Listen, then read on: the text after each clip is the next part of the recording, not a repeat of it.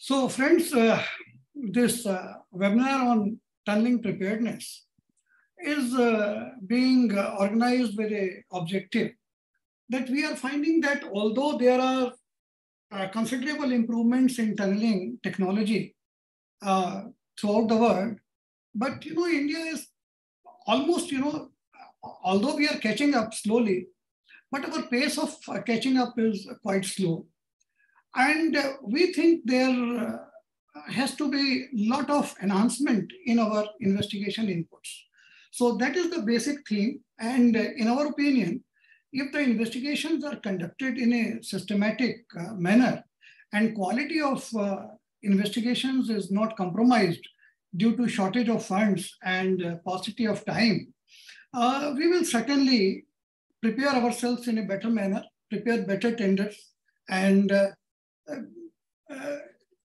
design better uh, and support better as far as tunnels are concerned. So with these few lines, I will directly come to my presentation. Uh, first of all, let us address this question that uh, what are investigations? What do we understand uh, by investigation, which is also known as survey and investigations or explorations. This is the process of acquiring advanced knowledge of the site with an objective to prepare a cost-effective uh, uh, estimate of a tunneling project. But before we start uh, collecting our data, we must know that what we are looking for. Because structure to structure, our objective will change, our way of investigation will change, our philosophy will change, our selection of methods will change. And uh, as you know that uh, there is a wide range of methods which are available to us today, starting from simple topographical surveys to geological mapping, pitting, trenching, drifting, drilling, etc. And uh, all this data has to be collected following standard practices. And that is one area where a lot of thrust is to be given that whatever work we are doing, we have to follow standards only then we will get the required results. And results of individual methods of investigations are interpreted and synthesized. But our main focus remains on the geological risks. We have to uh, identify each and important uh, risk uh, during our investigation program. If we, if we miss anything, that will trouble, trouble us during construction. And why we do it? Simple. First of all, we have to understand the geological model of the area or of the hill through which the tunnel is to pass or to be constructed. Optimize layout of the tunnels, there could be several uh, alternatives of joining two points, but we have to choose the best one and geology and topography. These two are very important parameters uh, for optimizing the tunnel layout. Assess the rock mass conditions, uh, forecast geological problems, particularly, as I said, the risk that what are the perceived risks during the tunneling, but I'm talking only on the geological considerations and to work out support requirements for all classes of rocks and estimate cost and time required for completion of tunnel. And where we have to do it? We have to do, uh, I mean, constructing mostly these tunnels in such kind of terrain in Himalayas. This picture I have taken while I was uh, uh, in Chamkarchu project of Bhutan. Uh, this was the first and the maiden visit which I made uh, just before starting investigation. And you see this, this was the approximate alignment of the tunnel and you can imagine that uh, what type of data could be collected in this kind of terrain, which is totally inaccessible, which is geology is complex, outcrops are very less, only in few nalas or uh, in the river section, which is not uh, visible here. And uh, then we have very less opportunity of deep investigative techniques. Uh, now, therefore, we have to uh, formulate a strategy or philosophy which could, which could uh, enable us to collect useful data. And I'm borrowing this term KYG from my friend, Mr. Yogendra Deva, who is here and who has the responsibility of wrapping up this uh, webinar today. So I will not go into details of this. This is know your ground. He will explain you better. What I understand from him is it is something like KYC. Uh, whenever you open a bank account, banks are asking for uh, know your customer. They ask our details. So whenever I start a project, I should ask the ground that, that what are your details? But ground will not tell us. So I will have to make efforts to, to, to understand it. So this is a way of understanding uh, geology. And uh, once we have a rough model, uh, maybe on 1 is to 25,000 scale, then we have to tailor investigation plan according to the objective and provide additional information using suitable methods. But one important thing is that reliability and robustness of the data should be continuously reviewed and updated as the new information is obtained. Because in investigation, every day you will have some new information. And we will have to stay alert to the variations or anomalies occurring during investigations and change the plan of investigation or strategy of investigations accordingly. If something which we did not foresee uh, comes to our notice, we certainly we will have to take care of that particular anomaly or that particular feature uh, which is surfacing itself either in a drill hole or during geological mapping or in geophysical surveys. So we have to then, you know, give some uh, respect to the new uh, finding and introduce a new method for uh, understanding that. But there is uh, yeah, this investigations or geological and geotechnical investigations cannot be uniformly addressed for all types of tunnels, for all types of grounds. These are very, very site specific. And some of the factors which influence the investigation uh, process are project characteristics. I mean, geometry of the project, locality, whether it is in urban area or in mountainous area, complexity of construction and complexity of geology, then topography and access as you have seen, and then the project use, because investigation will be different for different types of projects.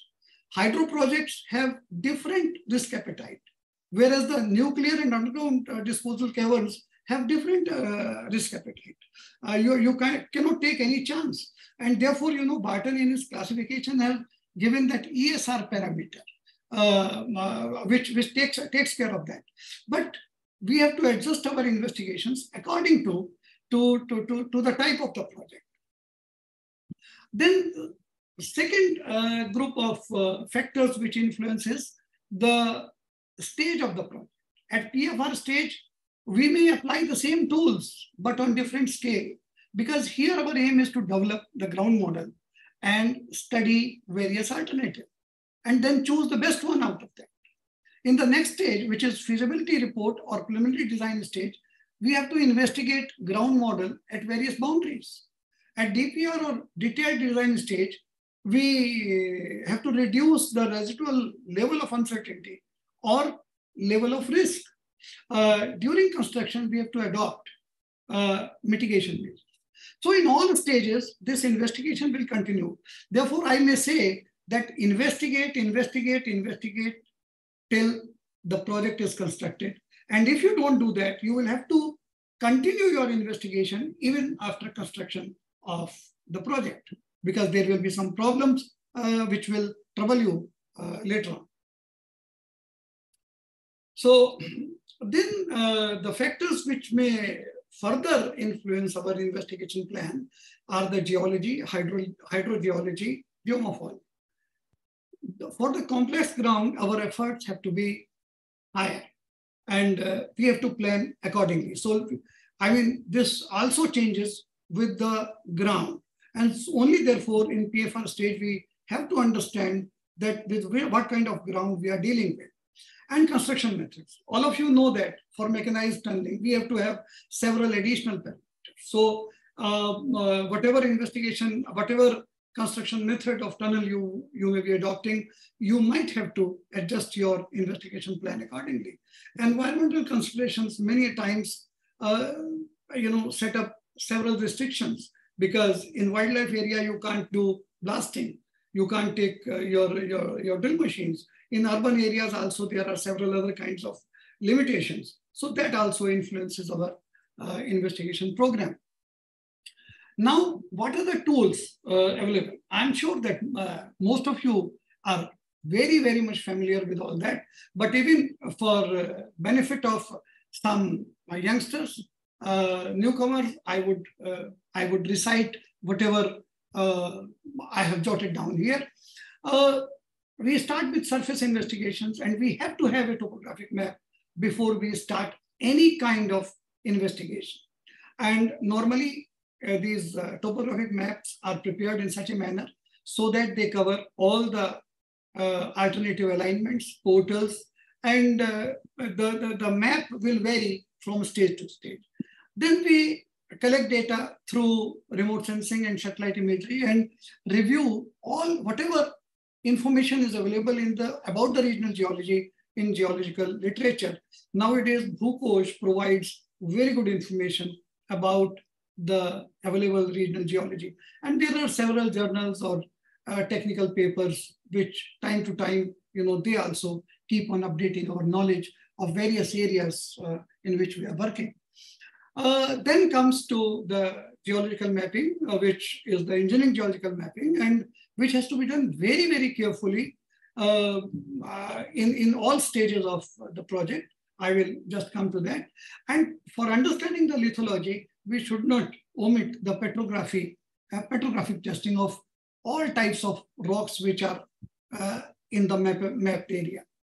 Then coming to geophysical testing, I will omit it because I am going to request Dr. Rana after my 19th slide to, to give you a complete uh, review of geophysical testing program, which will add value to the, the, the, the tunnel investigation program. And the other kinds of subsurface exploration program, after we conduct geological mapping, we have a model, we have all results of geophysics, geophysical results are integrated into the geological model, and then we should plan for core drilling. The core drilling finally, uh, you know, this uh, is a very good tool if it is used uh, properly and at proper locations. So results of geophysics and engineering geological mapping will help you to decide uh, where to drill. And uh, uh, if you can choose those locations, you will certainly uh, do a lot of value addition to in updating your geological model. And these uh, boreholes are very good, uh, very good tool for estimating permeability of various rock units. Then we uh, uh, we have another tool with us, which is exploratory drift. This is uh, useful, particularly for underground powerhouses, but for tunnels also, at all the portals, these are uh, done for estimating the rock mass conditions and to understand whether there is a glide, glide crack in the slope or not, some slump area so that because for transportation tunnels, you have to construct very heavy portals. And then coming to earthquake studies, wherein you conduct site-specific earthquake parameters and micro-earthquake studies. And finally, uh, rock testing is done to supplement information about the engineering properties of the rock mass. They are both uh, lab test and in situ test. In this, uh, our tunneling program, Professor Mahendra Singh from Roorkee and uh, Dr. Rajbal Singh from CSMRS, they have given very good background and very good details of various types of uh, testing, uh, which could be uh, applied while doing investigations for tunnels. Now coming to this main core area of conducting investigations. And the first and the foremost uh, tool available to us is engineering geological mapping. During engineering geological mapping, we conduct rock mass characterization also. These two things together uh, cover most of the engineering geological studies for a project. And uh, how we do it, I will try to just touch upon things very, very briefly. Well, you see, before we go for rock mass characterization, we must understand that what are the various parameters which influence the rock mass. I mean, uh, whether the rock material itself is competent to express that I'm very good or very bad. But here you will find that we have four parameters. These are very important to understand. Uh, the rock material, degree of jointing, and characteristics of each set of joint. These two things are the internal characteristics of the rock mass. Both are constituents of the rock mass. The rock material and the fracturation or the joints which are bisecting it. And then the other two parameters, the rock stresses and groundwater, these are the external parameters. So therefore, now one thing is clear that same sort of rock material having the same sort of same set of uh, jointing we may have different behavior under different conditions. Uh, maybe, therefore, the same rock in one side of the tunnel may behave differently than the other side of rock. In case the rock stresses uh, are not constant, they change. And if the groundwater regime changes, then the same rock will uh, be different in different sort of uh, external conditions. So these all four conditions are the key to the uh, rock mass characterization program. And if you, although I'm not covering the rock mass classification part of it, but you take any classification, they are addressing these four parameters in some way or another. And all these properties are quantified using various methods. Uh, we luckily have uh, ISRM methods, which first came up in 1978. And then nowadays there are several Indian standard codes which provide you very good guidelines. Now the procedures for Indian geological mapping and uh, rock mass characterization, we start from the outcrop mapping, then we do scan line survey, then uh, collect, collect site photographs, which are very, very important. And then uh, with this data, whatever we collect in the field, uh, we proceed to evolve the geological model. And this process is useful for rock mass classification system in vogue. So if you if you collect all these parameters which are divided into these three uh, heads or these three processes, you will be you will not be missing any parameter which you may require for uh, using any classification in vogue nowadays. And these are the list of uh, parameters as far as the rock mass description goes. We start with rock type, strength, number of joint, degree of weathering, geological structure, water inflow and log description. And joint description includes length, direction, type of termination, persistent spacing, aperture, roughness, alteration, type of filling, and orientation. Uh, this is, uh, is, I mean, for beginners, I have, uh, you know, labeled this uh, outcrop, uh, which I have taken in some of the field in Himalayas, uh, field visits. So here you will find that we are having uh, foliation joints very clear. And if you see this tube, uh, you, you can see J1, uh, which is parallel to the foliation. Uh, you can see another set of joint. Uh, sorry, I did not pick up my point pen color. I think now I can show you. So this is the foliation and this is another joint set, which we have numbered J2. And then the third, third set of joint is this, which is looking at us, which is facing us. This is J3. So with help of cube, everybody can identify. And whatever parameters I have listed out in my previous slide, that can be collected. Uh, for example, this is a, uh, the rock type is quartzite. There are three number of joint set available. The degree of jointing is uh, moderately weathered. Then you can note down roughness, spacing. Spacing is the distance between, between uh, two members of same set of joints, then type of termination, aperture, orientation, uh, dip and strike, everybody knows it. Uh, then persistence and filling. And there are several other parameters which are not covered in this picture because they were not, uh, illustration is difficult to, uh, to, to cover. And then uh, the uh, after we complete scan line, then we after we complete uh, the, the, the outcrop mapping, then we select certain areas where we can do scan line surveys, particularly to note down all these parameters which I have spoken in my last two slides. Uh, for this, what we do is we select an area which provides us a continuous length of 20 to 30 meters and uh, count all the joints which are which which are which are intercepting at an imaginary line which we call scan line. And how we do it is uh, like this. Here you will see this orange thick orange line uh, from rd0 to rd30 this is uh, an imaginary line which normally runs at the waist level of the observer and whatever joints cut this line uh, at any place, those are counted. And I will show you a proforma which has been developed especially for this. And the parameters along each joint are recorded. So here for your for uh, simplicity of understanding, uh, I have uh, colored foliation as yellow. The red joints are the cross joints which are dipping opposite to the foliation. And then the third set is these blue dots which are facing towards us. So these, this is a typical conjugate uh, uh, jointing pattern.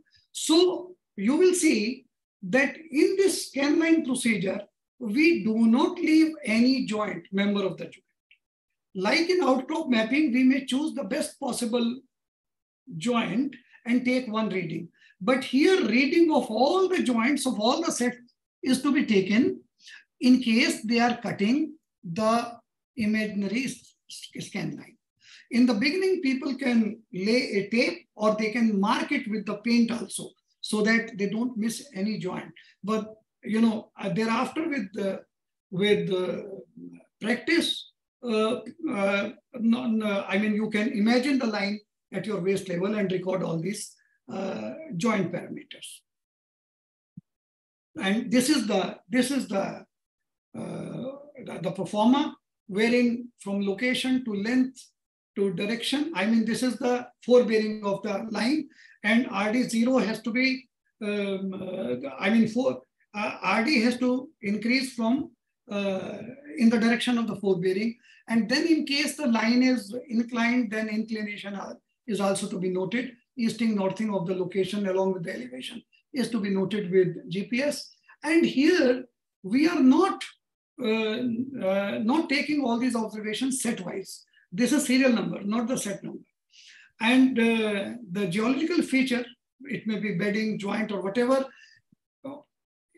n number of joints if they come, uh, uh, they cut the, uh, the imaginary line, all the joint members will be recorded no matter they are just a, a carbon copy of each other. Uh, every joint set will be recorded, but one condition is there that that joint member has to be more than one meter. Otherwise, uh, the spacing uh, will be will be adversely affected. And then with these parameters, I will not re uh, repeat for saving time. Uh, we take joint uh, JV, volumetric count of joint at three locations, one at the beginning, one at uh, one in the center and another towards the end. And in case you are having, you are lucky to have a Schmidt hammer, please use it for uh, finding out UCS. Otherwise, your geological hammer is the best companion. And then some photographs are also taken. And uh, after taking uh, these scan lines, then the data is to be merged for each geostructural unit. Uh, the data will be merged the stereogram will be plotted, J1, J2, J3 analysis will be done, and average parameters for it, one geostructural unit will be uh, handy to you when you go for uh, go for and go for rock mass classification.